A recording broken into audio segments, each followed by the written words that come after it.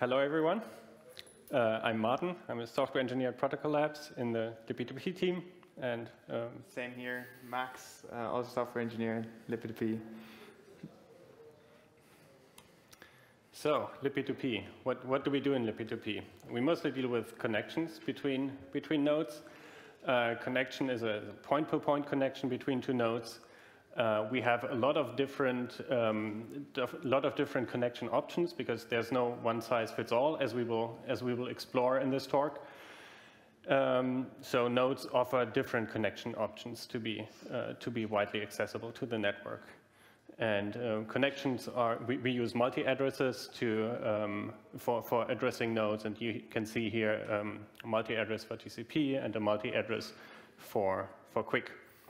Um, just a very, very quick uh, recap what, um, what a LibP2P connection is. It provides security. There's no such thing. It's an unencrypted uh, LibP2P connection. So we run a handshake, which gives us, um, gives us the encryption, and uh, we know the, the remote's peer ID after the handshake.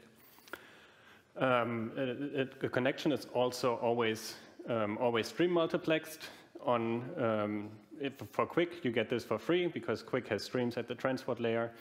Um, for transports that don't have streams at the transport layer, we do an upgrade process and use a stream, stream multiplexer to provide streams to the application. So every time an application uses a libp2p connection, it looks like it, it just has the streams. And we deal with all the complexity below that. So I've, I've shown this, this table a bunch of times uh, over, the last, um, over the last half a year, and it looked very different when I started doing this presentation. Uh, there was a lot more red there, and I'm very happy to report that we are, we've made a lot of progress in the last half a year. Um, so let's go, go through it. Um, the most basic connection option is TCP. We've supported, libp2p has supported that for I don't know, since basically since since the very beginning, six years, seven years. Um, so that that works. That works in Go libp2p. It works in um, Rust libp2p. It does not work in the browser though, because the browser doesn't allow you to establish a, a raw TCP connection. The browser allows you to, to establish HTTP connections. That's what it does all the time. But it doesn't give you access to the, to the underlying TCP connection. Similar for QUIC, we added QUIC support um, a little bit later, maybe four years ago now. Um, it's been in, in Go libp2p. We are very soon getting QUIC support in Rust libp2p, so that's very exciting. But then for browsers, same problem. The browser does QUIC connections as part of HTTP 3, but it doesn't give you access to the underlying QUIC connection. So what do browsers, browsers use instead? Um, there are basically three protocols that browsers can use, and um, we'll take a look at them today. Um, the first of them is, is, WebSocket, and we've also supported that one for many years in, in libp2p. But for reasons we'll, we'll, discuss later, this has always been a fringe use case. Um, there's a new, um, a new tr transport protocol around called WebTransport, um, which is now supported by Go libp2p as of the last release. Um, and there's WebRTC, uh, where we have um, we have been working on this for um, for the last six months, and we've made a lot of progress, and we'll be shipping that very soon. More more more more of that later. So let's have a look at WebSocket. WebSocket is a pretty old protocol. Um, the RFC is for, from 2011. Um, basically, what it, what it allows you to do is to take an HTTP connection in the browser and to convert that into a full duplex connection. Um, so basically, what you do is you, you, establish the HTTP connection to the browser, ask the browser, hey, can we, can we upgrade this connection to, to, to WebSocket? And then the browser, th that's the request uh, printed down here. And then the browser can say, like, yeah, I'm OK with that um, let's, do, let's do WebSocket over this connection. And what this means is that instead of um, doing HTTP requests and responses uh, on, the, on, on, the connection is that you get access to like a, a full duplex connection. You can send bytes, um, the browser can send bytes, the server can send bytes at any moment. So basically exactly what we need to, to run libp2p on top of WebSocket. So why, why haven't we, we been using this a lot more? Um, the problem is that browsers, well, it's not a problem. It's, actually, it's pretty nice. Browsers uh, uh, make everything, make, make your connection secure. And the web now has, has moved to almost 100% encryption. Um, specifically, what that means is that if you, have, if you load a web page over an HTTPS connection, over an encrypted connection, it will not allow you to do unencrypted WebSocket from, um, from that web, web page. If you do that, you get uh, this beautiful error message there. Um, so what's the problem with that? Um, to do an encrypted WebSocket connection, you need a TLS certificate. Like the server needs an, a, a TLS certificate. And to, to, get an, to get a TLS certificate, you need to contact an, a, a, certificate authority like Let's Encrypt or um, there are a bunch of other ones around, and you need to get, uh, you, you, need to get the certificate from there. Um, even worse, uh, most uh, certificate authorities don't give you a, a certificate for an IP address, uh, but they require um, a, a host name. Now, most libp2p nodes on the network, it's just people running their node. They, don't, they, they might not even have a host name, and we don't want to tell, tell people, like, you need to go to the CA and get the certificate and then somehow configure your node to use that certificate. So WebSocket has always been this fringe thing that a few people who, who really wanted to, set, to set it up, they could do it, but then it was not something we could just enable by default. Another problem with Web, WebSocket is that it's quite slow.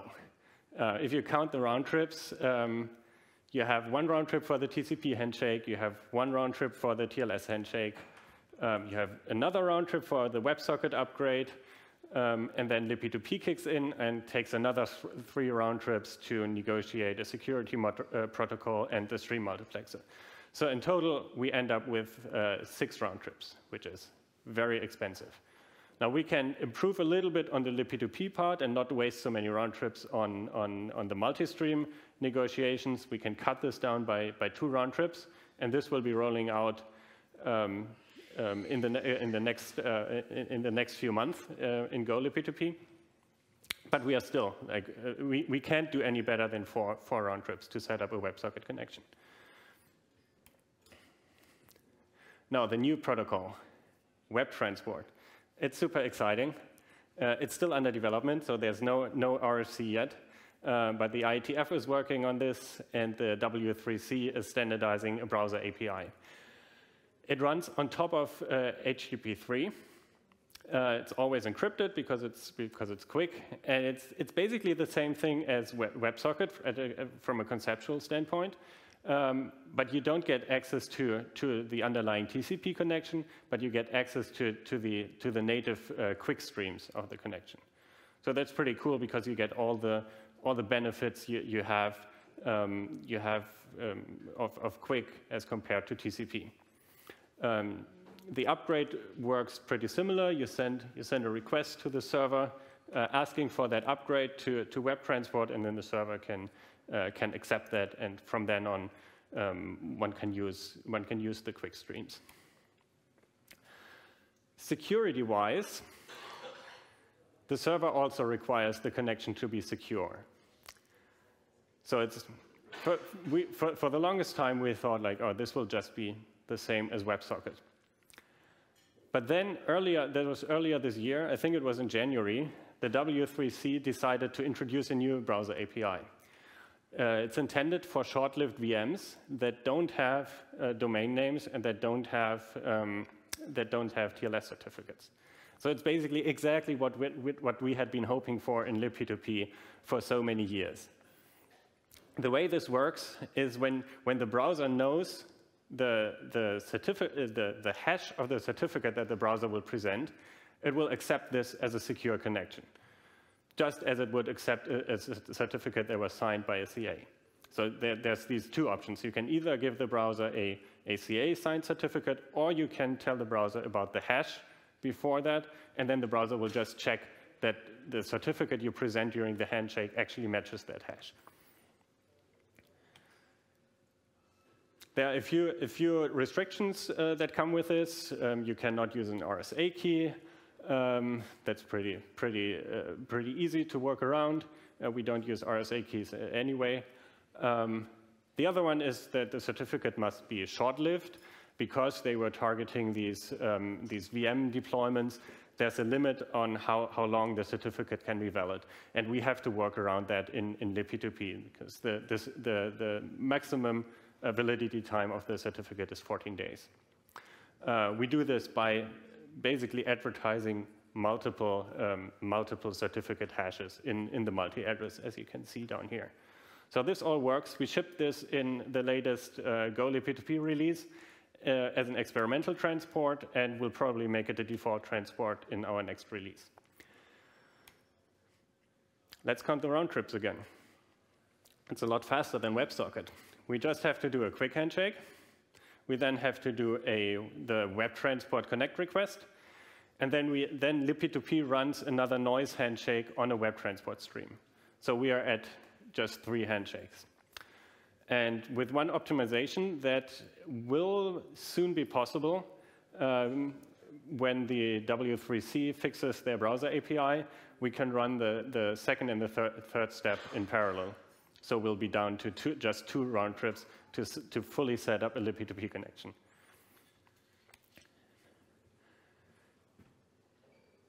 So I, I, I have a, a, quick demo of how this works. Um, uh, Marco built this. Marco from the libp2p team built this demo. Um, there's a there's a Kubo node running web transport by, uh, provided by Go libp2p, and he's connecting to it um, from the browser um, you see there's the multi-address containing the hashes, um, already established the connection. And he's now downloading a, a, CID from a Kubo node directly in the web browser. And I was too slow narrating this. but I, you, did you, okay, I'll, I'll do it again. so here's the, the multi-address, connected to the node over web transport, downloading the CID, directly from the node. There it is. Also, this is real time, right? we didn't speed up the video. Wait, what's going on? Okay, what, what can we use this for? And this is just a few examples that we could, that, that we could come up with. Uh, I'm sure that there's a lot more use cases to this. So given that the Filecoin network is already running on libp2p, we could, we could um, create trans Filecoin transactions in the browser and directly submit them to the, to the mempool via the gossip sub protocol. So currently, when, when you use an, an application like Glif to, to, send, to send some Filecoin around, they would connect to a, to a gateway node. You would sign the transaction in your, in your browser, send that to the gateway, and the gateway would then put this on Gossip Sub to, to get the, uh, the, um, the transaction into the blockchain. Now you can do this, you, can, you could do this directly from your browser and gossip this, this transaction. Same applies to Ethereum, because since the merge, they are now also running uh, on libp2p. Um, another thing that, that, is, that is possible now is you could potentially make a Filecoin deal right from your brow browser and upload the, the data um, to the storage provider using Web Transport. Um, and then it, it, it, should also work the other direction. You, could, uh, you can retrieve data from any IPFS node. We've already seen that in the demo. And potentially this could also work with Filecoin nodes. You could retrieve, um, retrieve data from Filecoin nodes using Web Transport. So that's, that's pretty cool. But I'm sure there's a lot more. And if you have any ideas what to build with this, please get in, get in touch with us. Cool. Okay. It. Right. The last one on the list um, is WebRTC. Uh, most people have probably heard the term WebRTC, and most people here probably also use WebRTC. It's quite, it's quite old. Uh, we jokingly say like it probably uses every RFC that the IETF ever standardized uh, in one protocol. Uh, it's initially built for audio and video, so most of you have probably at some point used uh, Hangouts to connect with two people, and you might have used WebRTC there to actually transfer uh, the video bytes. Now, Um, LibP2P is not focused on video or audio, but instead uh, reliable data channels. But the cool thing about WebRTC, uh, the browser APIs actually give us a way to um, send data in a reliable way over these things called RTC data channels. So you can think of that just, um, yeah, as a bidirectional message channel where you can send message in and get messages out.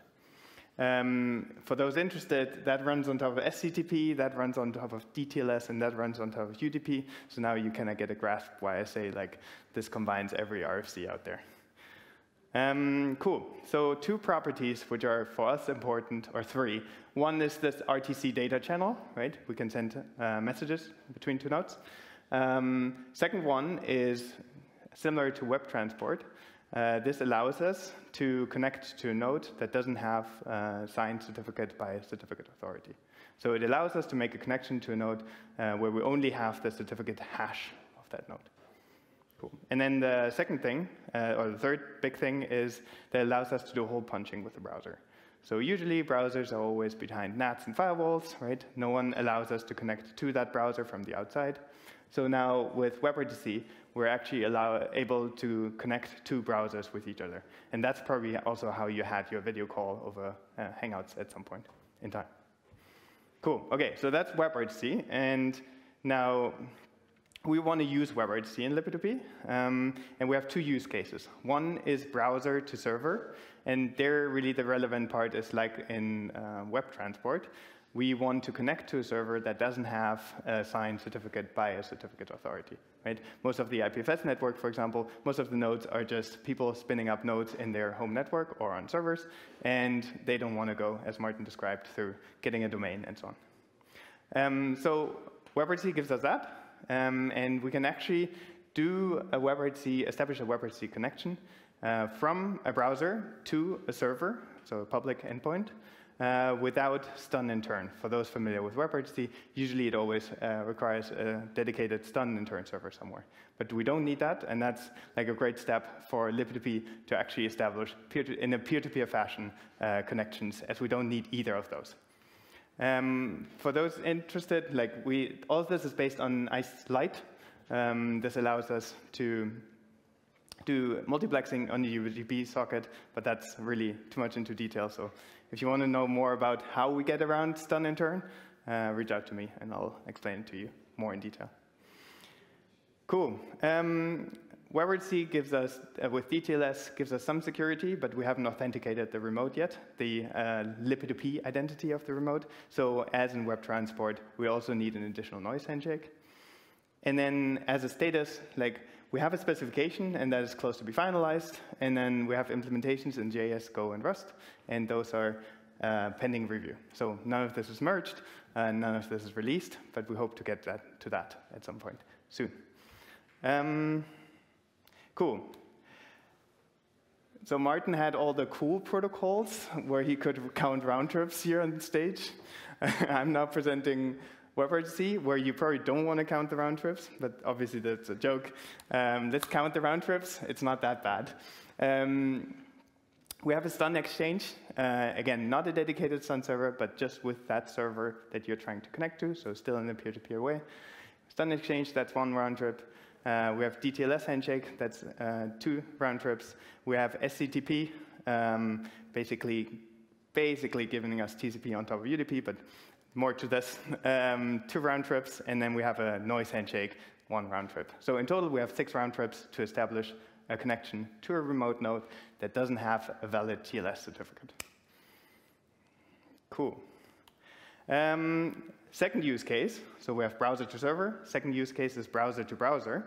Um, what we want is obviously to, for two browsers to connect. Um, browsers um, can already do that with WebRTC. They can do hole punching, which is great. We just need to make use of it in libp2p.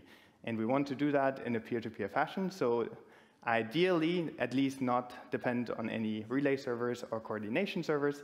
Um, Right now, this is a draft only, so definitely not a pending to be merged uh, specification. Um, as far as we can tell, we only need stun servers, but the nice thing about stun servers, for those familiar, the two peers that want to connect don't need to be connected to the same stun server. So this can be any stun server out there. Obviously, we could use the Google stun servers, but also many, many companies can run stun servers, and we, we use any of them. Um, we don't need turn servers. That's a nice thing. We can relay everything over the libp2p network and thus still establish connections in a peer-to-peer -peer fashion. Cool. OK, use cases for all of this. So you want to use WebRTC in case web transport doesn't work for you. Because um, in general, web transport will be a lot faster. It's on the newer stack, and it will need less round trips to establish the connection. Now, in case web transport doesn't work for you, use WebRTC. Um, and then for the second use case, which is browser to browser, um, you can use this for so many things. Again, uh, I think our creativity, uh, there's way more beyond our creativity here. The easy and boring uh, use case that probably everyone thinks about is you have two browsers next to each other and you want to exchange a file. Or you have a browser here and the browser in America and you exchange a file in a peer-to-peer -peer fashion. Cool. And then far, far, far, far, far in the future, I would really like to see this mesh style where like the conference Wi-Fi is off uh, and we can still exchange files over, uh, for example, a QR code, uh, and then connect to each other and then exchange the files in a peer-to-peer -peer fashion. But the last one, definitely not on our short-term roadmap. Cool. Shall I move on? Yeah. Yeah. Um, thank you for coming to our talk. We have launched a website explaining all the different connectivity options in the P2P because we realized there's, there's a lot, there's a lot of trade-offs. um, so head to connectivity.libp2p.io and you will find all the information there, uh, including links to the PRs and um, the ongoing work. And one more thing, we have on Sunday, we have libp2p Day, part of IPFS Camp. So you'll if you, if you liked us talking and if you want to see other people talking as well, uh, that's a perfect venue to have a whole day of talks about libp2p. Cool. That's it. Yeah, I, I was just wondering, I, I didn't see uh, Node.js as like a specific column on there. So I was just wondering if that's yeah, also you didn't see a NIM, libp2p, Erlang, C++. Oh, that's right. This uh, is right? so this goes way beyond over there. Yeah. Okay. But you're specifically interested in Node.js. Yeah, no, I was just okay. wondering like how you were, like the timeline or, you know, if, if you go and then rust at the priorities and then maybe others if someone else is willing to, or how yeah. do you like prioritize things and know which, where, thing, at what time, when things should land and stuff, yeah. basically. Do you want to answer, or I? I, I, I can comment on, on TCP and QUIC. So mm -hmm. TCP works in Node.js. Um, they have been working on QUIC support for the longest time, but as far as I know, it's not merged yet. So you can't do you can't do QUIC, which also means you can't do web transport. Um, I think there's WebSocket support. Um, I'm not sure about WebRTC. We did support some of this, or we are supporting a lot of this. Um, from, from the JS side, from the browser side, and the Node.js side. But either we depend on central stun and turn servers, or we depend on the fact that we previously established a WebSocket connection to that peer. Um, now, if we depend on central stun and turn servers, that's a bummer, right? It's called libp2p and uh, not uh, libp2p plus some central servers. And then the second one is if the, the second one where you already have uh, an established connection over WebSockets and then exchange the SDP, you might as well just use the, uh, the WebSocket connection. Maybe you get more performance out of the WebRTC connection, but yeah. So that was the, the history behind this. I think it enabled many, many use cases, but we hope for this to enable more use cases as you have to configure less. Yeah. Hi, um, you you had a slide about punching holes in the browsers. Yeah. And I mean, it definitely sounds really techno technically pretty exciting, but is that morally wrong thing to do? Morally wrong? Yeah.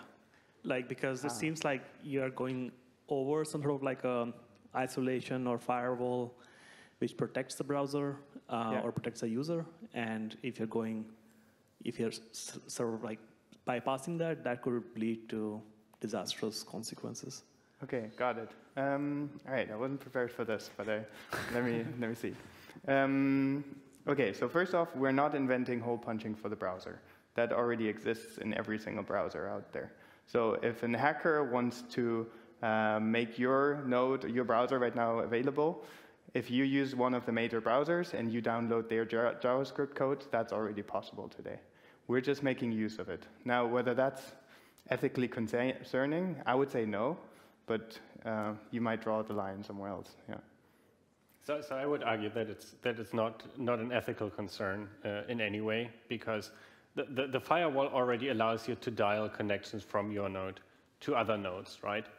Um, so, so the only thing that hole punching enables you to do is now dial a connection from your node to another node who also happens to be behind a firewall. But I don't see that there's like a, like a categorical difference between dialing a server that's on the public internet and dialing a server that's, that happens to be behind a firewall. I got okay. a question then. Um, okay. If we've been talking about payment channels earlier today and how yeah. you could retrieve a file and then make payments as well. If I made a browser to browser connection, would that be a possibility? For a payment channel? Yeah, payment channel and then also retrieving files. Yeah, yeah. I mean, libp2p will only allow you to send bytes from A to B. What those bytes are, um, yeah. Cool. Yeah. yeah? Ah, yeah, the microphone. Just kind of related to payment channels, browser to browser, uh, libp2p kind of question. Um, you mentioned that all libp2p connections are encrypted. Like there's no such thing as a non-encrypted one. Yeah. Um, could could you allow for like the non-encrypted version? Like if we're building a protocol on top of it that's got its own security properties, we might be able to squeeze some performance by not having that as a default. So, so, the problem with unencrypted connections is that there are a lot of, like, you're running application protocols on top of that connection, and you're running, like, libp2p is also running some coordination protocols on, on top of the, uh, on, on, the same connection. So you would want to have, um, you would want to have encryption for, for at least the libp2p protocols, and you probably also want to verify the peer's identity depending on, on your application protocol. But if, if, if double encryption is really your concern, um, I would suggest that we that we talk about about the protocol you're you're using and see what we can do. And also to mention, like browsers know how to do TLS, right? They're pretty good at this. Like, I think you should first prove whether this is really a problem before trying to solve the problem. Yeah, yeah. yeah. Don't want to stop you, please do, but. Uh, All right. Yeah, probably got time for one. Yeah, one more question in the middle. Also, we're we're going to be, I think, around a little bit longer. You can also come up to us later, but please, go ahead. Uh, test, test, yes, it, it's working. So uh, my question was, it's possible to do TCP and QUIC over, uh, to do um, libp2p on top of TCP and QUIC. What about raw UDP uh, for lip, libp2p? Is it possible? Yeah, so, so, so there, there, there, was an effort to, to uh, add um, raw UDP support to, to browsers.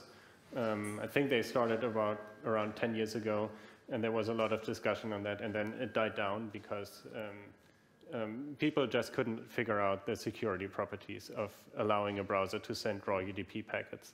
So that's um, that that effort has basically died, and it's probably not coming back. But TCP, TCP is not possible also in the browser, no? I mean, my question was You're in general. On servers, right? Yeah, in general. Yes, yes, yes. All right, I'll, ha I'll have a different question for you. Why do you want that? Because in many industries, they see use UDP, raw UDP. For example, I work in air traffic control, and they were using UDP. So if we want to, in the long term, that Web3 is used by everyone, right? libp2p is used by everyone, then somehow like this raw protocol probably would be nice that they are supported. No, on a, on a technical level, why would you want UDP? Uh, it's, it's not about that, like really, it's just. Okay. I, I don't have any, any particular use case. You're right, because I think we have many use cases why not to support UDP. And as Marten just said, like most of those are security related, and then uh, many more from the usability perspective. Um, yeah. So for example, I think your number one example is how do you stop a replay attack? How do we do condition control? How do you have this on a live network where everyone can pump as many UDP packets into the socket as they want? How do we do that? So we, we don't have a way how to do that, and that's why I would say we don't offer it in libp2p. Okay, okay, so thank you. That's what I want to know. Yeah, thanks. Great.